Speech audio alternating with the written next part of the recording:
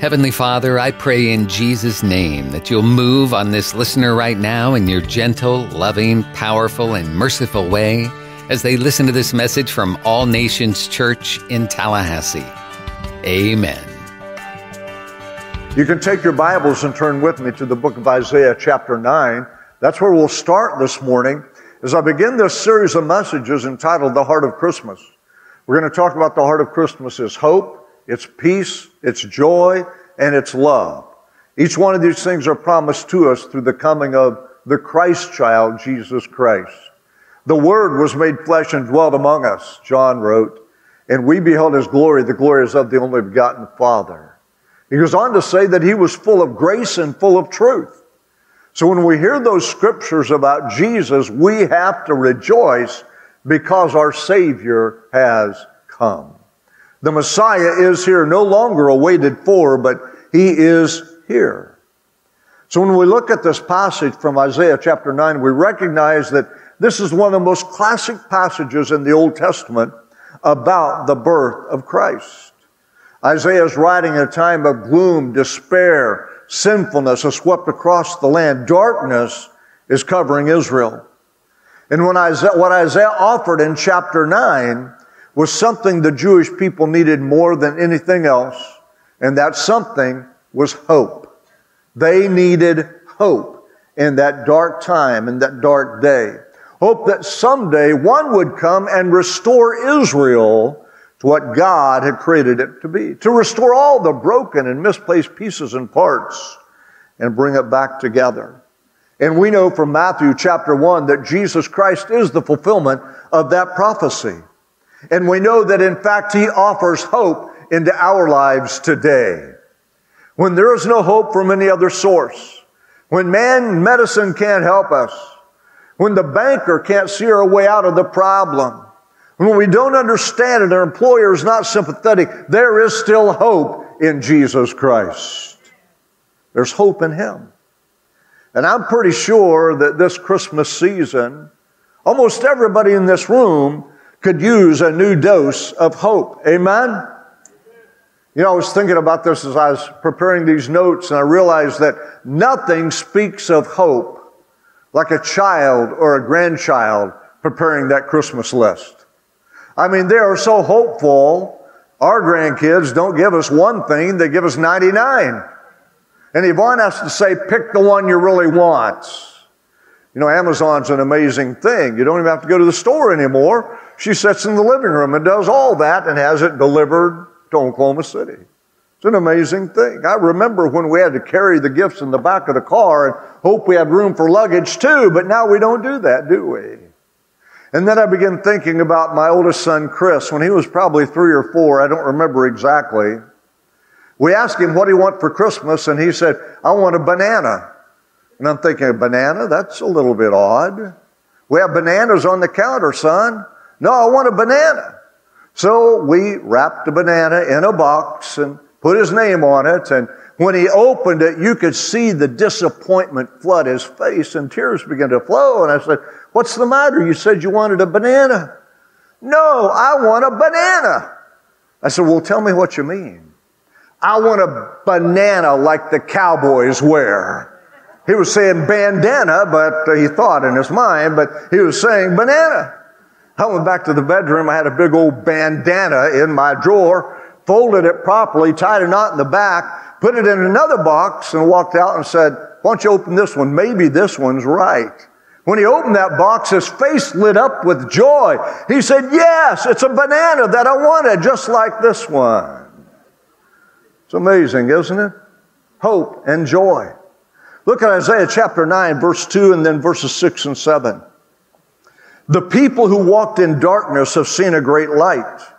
Those who dwelt in the land of the shadow of death, upon them a light has shined. Did you hear that phrase? Those who have dealt in the land of the shadow of death, his light has shined upon them. They've seen a great light.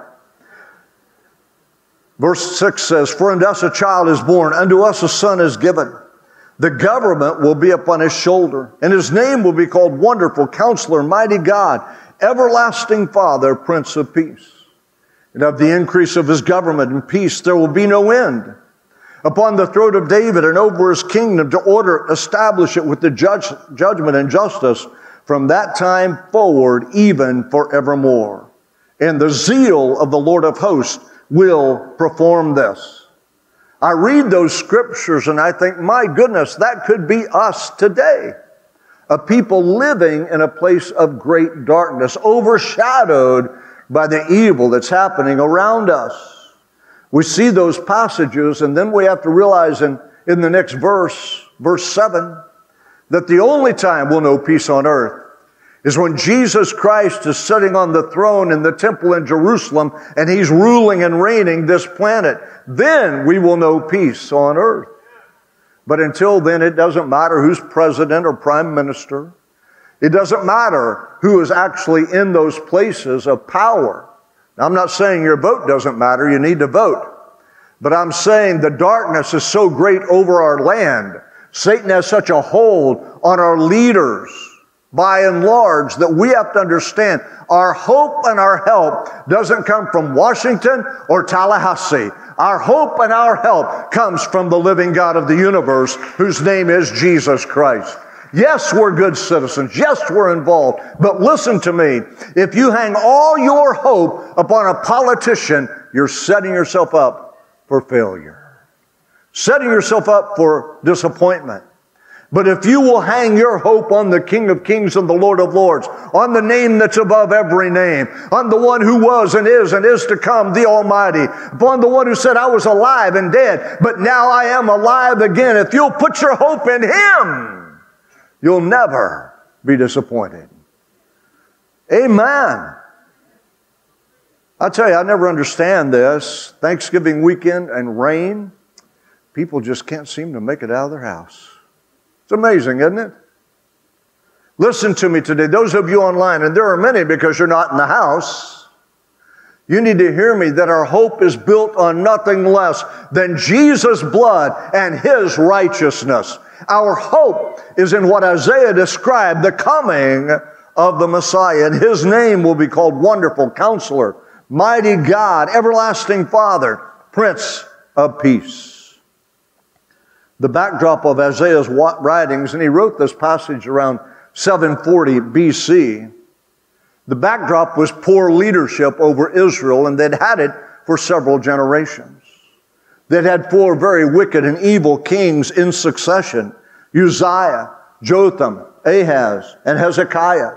They were corrupt, sinful men, and they led people astray. Listen to me. When corrupt and sinful men are in power, they lead nations astray. They take them into places of darkness. They take them places of deceit.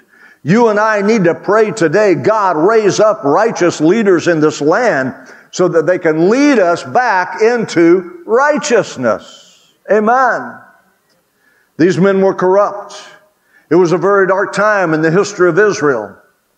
And Isaiah wrote these words knowing that in order for Israel to be turned around, God must intervene. May I say to you today, the only hope for this society, this culture, this nation is for God to intervene again today. The only hope is for an outpouring of the Spirit of God upon the heart of God's people that causes us to become fervent, on fire, consumed with the message of the cross and taking it to the entire world. See, we're, we're more than willing to give as well as someone else goes. We're more than willing to give as well as someone, as long as someone else is taking the risks and paying the price. I've come to tell you today, the only way this nation will turn around is for the people of God to be so filled with the Spirit that we rise up and declare, this is the way, walk ye in it. Isaiah knew that was the only hope for his nation. He had to turn Israel back to himself. And then I think about what Paul wrote in the, wrote in the book of Colossians. In chapter 1, verse 20, he said, and I'm reading this from the message because I love this translation. Not only that, but all the broken and dislocated pieces of the universe, people and things, atoms and animals and atoms, yet properly fixed and fit together in vibrant harmonies, all because of his death and his blood that poured down from the cross. How are we reconciled? How are we unified? Only through the cross of Jesus Christ. My friend, as long as evil men are leading this nation, they lead us away from the cross. They lead us away from the truth of the gospel. But God is calling you and I one more time to stand up and declare through the cross and the blood that was shed on the cross, there is unity. There is solidarity among the people of God. I've said it a million times. I'm going to say it again. There's only one place where we're equal, and that's at the foot of the cross. Man and the systems of man engineered by Satan are meant to be divisive and to separate people. But the cross has one purpose and one intent. That's forgiveness, renewal, restoration, and unity through the blood of Jesus Christ. It's time for us to recognize we don't have to be divided.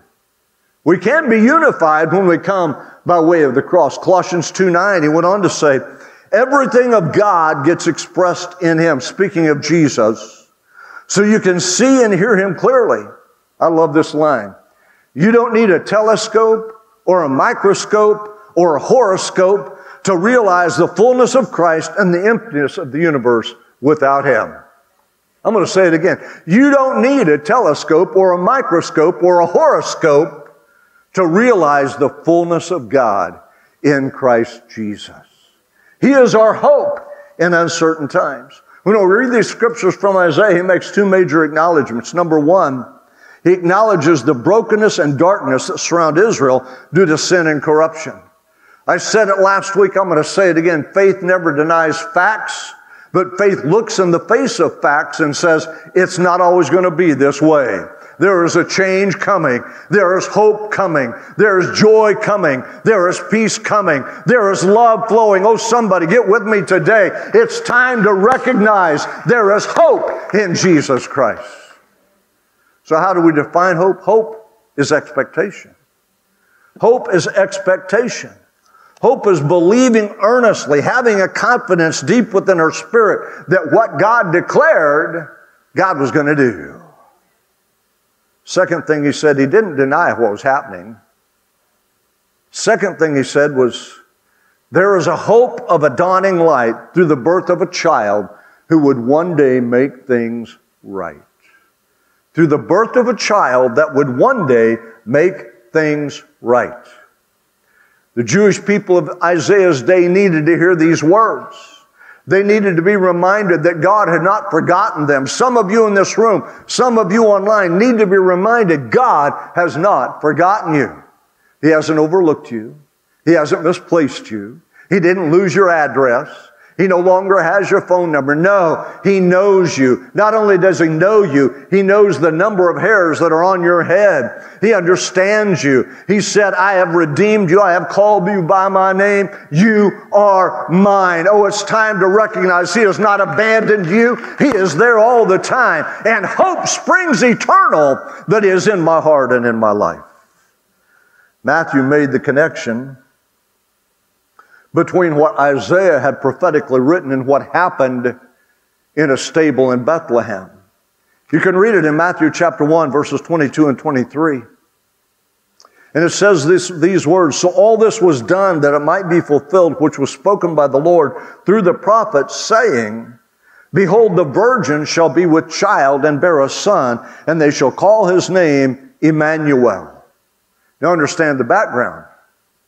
Joseph who was engaged to Mary, had just found out that Mary was pregnant and he knew he wasn't the father. So the Bible tells us he was considering, contemplating, thinking about what to do with her, and he thought about just putting her away, not making a big deal of it, severing the engagement and moving on with his life. And in that position and in that place when he was thinking about that, the Lord appeared to him in a dream. You can read it in Matthew 120. And he said, Joseph, son of David, do not be afraid to take you Mary, your wife. For what, what is conceived in her is of the Holy Spirit. And then we read the text, and she shall bring forth a son. You shall call his name Jesus, for he will save his people from their sin. And all this was done to fulfill Isaiah's prophecy. It's an amazing thing the way the scripture weaves together. I have people tell me frequently, I don't read the Old Testament. It's not for me. I'm a New Testament believer. May I tell you, you'll never understand the New Testament until you go back and read the Old Testament, until you see the foreshadowing, until you see the prophetic word, until you understand that God had a plan before He created this world, before He created Adam, before He created Eve. He had a plan to deal with the sin that would infect mankind and his plan and his remedy came through a son, a child born in Bethlehem, born of a virgin whose name is Jesus. Oh, folks, that's something to be excited about. Joseph was, Joseph was planning to call everything off because Mary had been unfaithful. Unfaithful.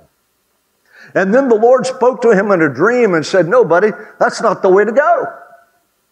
Don't worry about. She hasn't been faithful to you. She is being faithful to me. And what's in her was conceived by the Holy Ghost.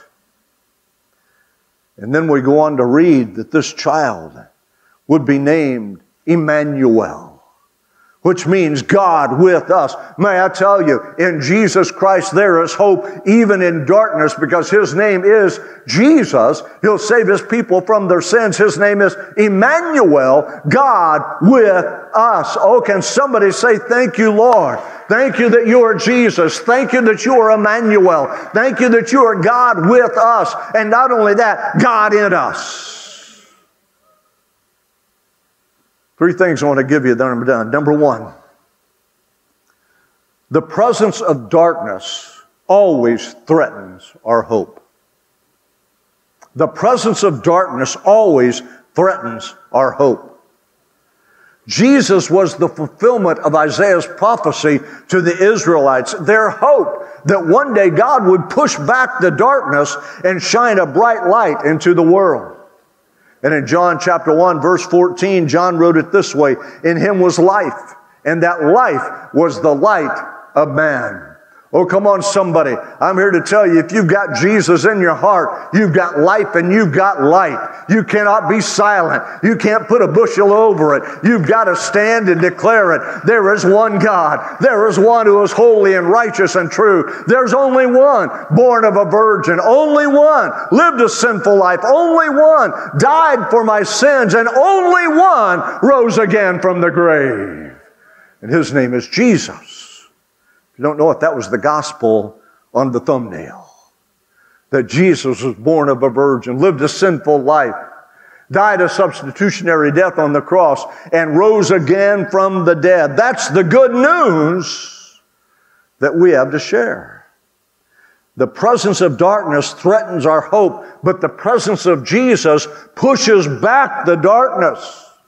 Listen, if we turned every light off on this place, and I just lit a candle, that light would push the darkness back. You need to understand that every day you step into society, every day you live as a believer full of the Holy Ghost, you are doing what you've been commanded to do, and that's letting your light shine so that all men may see your good works and glorify your Father which is in heaven. Oh, come on, folks, don't be afraid of the darkness, but push into it. Be a light that shines. One of the reasons Christmas resonates in our hearts is because we live in a dark, corrupt world. A world that is so entangled by sin.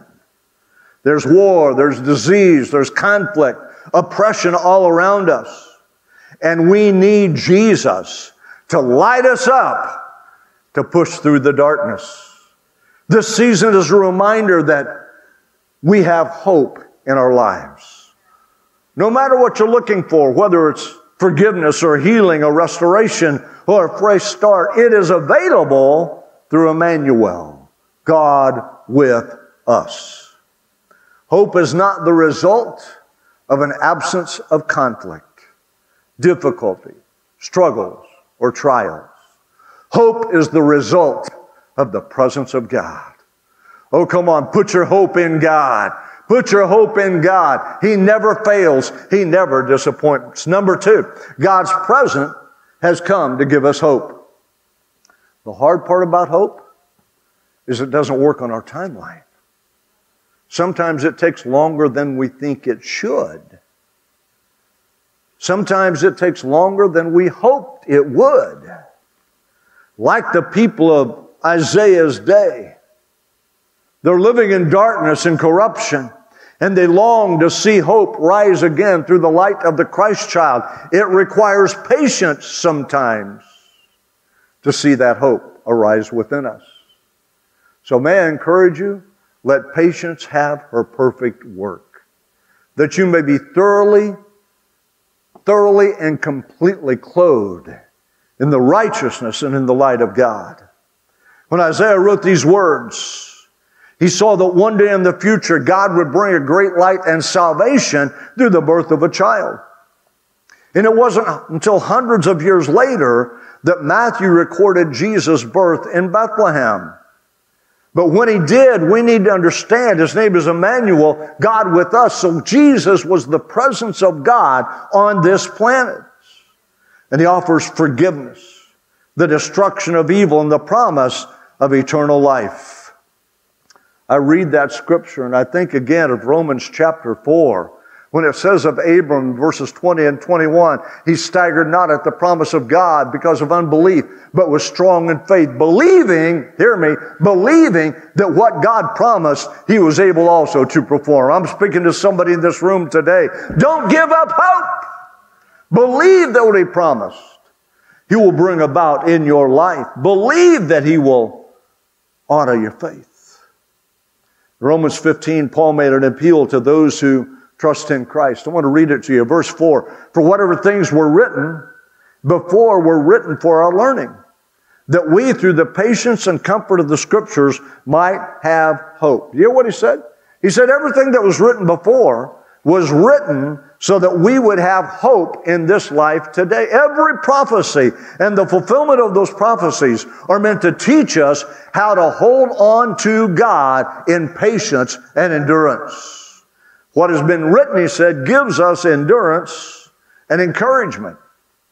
It's important that when we hear these words, we go back and revisit the Old Testament and recognize that the fulfillment of those messianic prophecies comes through Jesus Christ.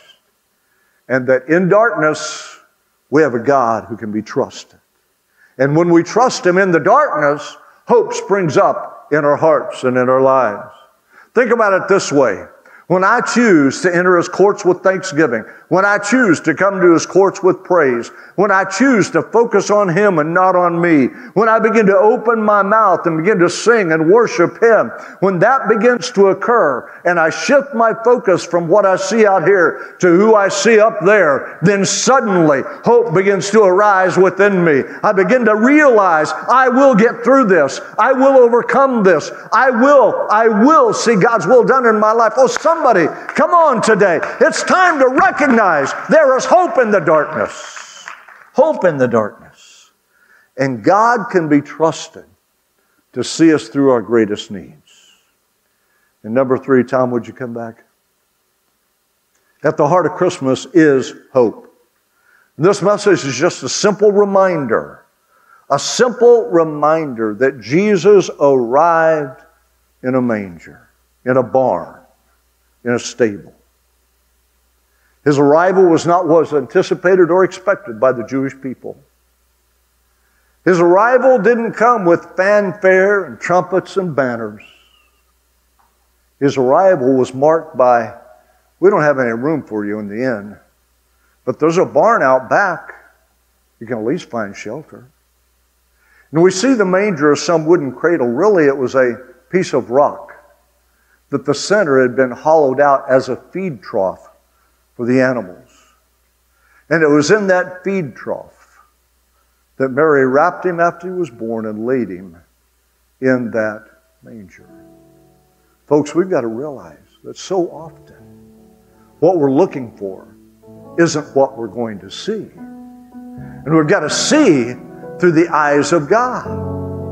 So often we're looking for banners and trumpets and fanfares when in fact He's already here. All we have to do is pick Him up, receive Him, let Him come into our lives and bring hope into our hearts. Years ago, I read the story about an elderly lady Her name was Stella Thornhope. Good name. She was struggling because it was her first Christmas alone. Her husband had died just a few months ago. He suffered with a protracted illness, cancer, that finally claimed his life. Several days before Christmas, she was in despair.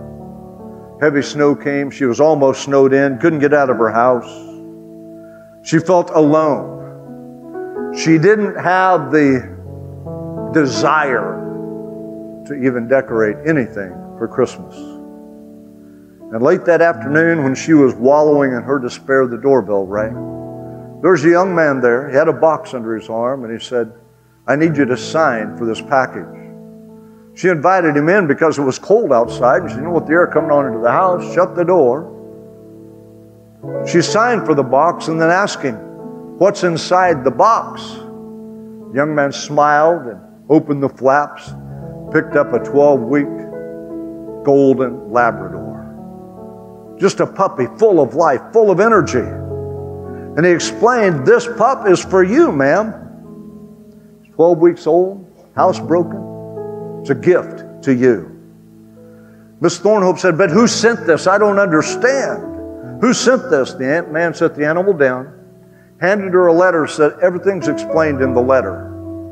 And here's a book to help you know how to care for your Labrador. Once again, she asked him, But who sent this to me? The young man turned, he was getting ready to walk out the door, and he said, Ma'am, your husband sent it. Merry Christmas. She opened the letter. She read the words that her husband had written three weeks prior to his death, full of encouragement, admonishment, strength, reminding her that one day they would be together again. She wiped the tears from her eyes, picked up the pup, held it to her neck, and she suddenly realized, even in his death, her husband showed his love to her. May I tell you that through his death, Jesus Christ shows his love to you and to me. We need to understand today that the scripture is yet true. Hope is yet alive. Darkness cannot put out the light of Jesus Christ. It's time to stand and rejoice and say, I put my hope in Jesus Christ. He alone is worthy. Hebrews 6:19 the writer said this hope we have as an anchor of our soul it is sure and steadfast. It's certain and dependable, sure and steadfast. I've come to tell you this morning God's always on time. He's never a minute late, He's never a minute early, He's always right on time. Regardless of where you're at or what you're dealing with, there is a God who wants to infuse you with hope today.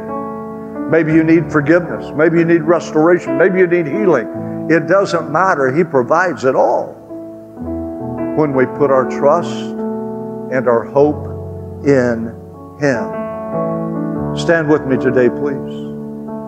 Because when hope is alive in our heart, the light of Christ shines, shines most clearly, and He pushes back the darkness that prevails around us. Bow your heads for a moment, please. I think it's very possible, highly likely, and probable.